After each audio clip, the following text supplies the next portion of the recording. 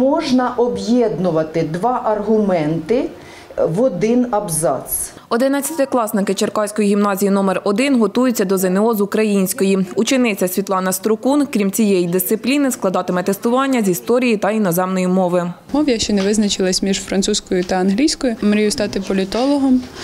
Ем, Це є е, одною з провідних е, спеціальностей зараз. Сергій Вишемірський із фахом ще не визначився, але говорить, крім української, точно складатиме ще й математику. На уроках ми теж повторюємо дуже велику кількість матеріалу, проходимо. Дома приходиться теж готуватися багато, е, відкладувати там з друзями зустрічі. Я перед знову взагалі не хвилююся, тому що я вважаю, що це не, не те, що треба перед ним хвилюватися, тому що це як звичайна контрольна. Учням нині організовують різні форми контролю, аби підготувати до іспитів, каже вчителька Наталія Коретан.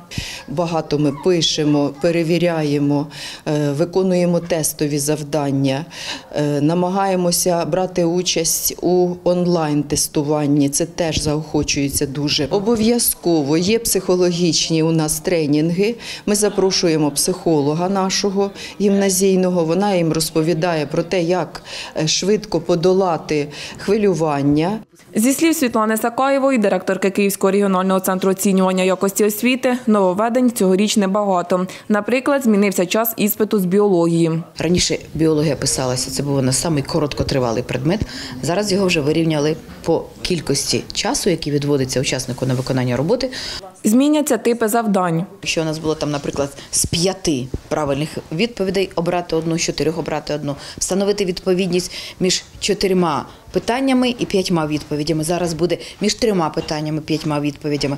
Директорка центру додає, для вступу вперше прийматимуть сертифікати ЗНО чотирьох років – 2017-го, крім іноземних мов, 2018-го, 2019-го та 2020 років з усіх предметів. Як і раніше, абітурієнти зможуть скласти під час ЗНО максимум чотири предмети, обов'язкових – три. Обов'язковим для них усіх предметів є українська мова і література це предмет ЗНО, а українська мова це предмет державної підсумкової атестації. Другий предмет ми називаємо для них це обов'язково вибірковий. Е, Це треба їм буде обрати або математику, або історію України. Третій предмет це предмет уже. Де вибирається тільки учнем і не обмежується його можливості у виборі предметів.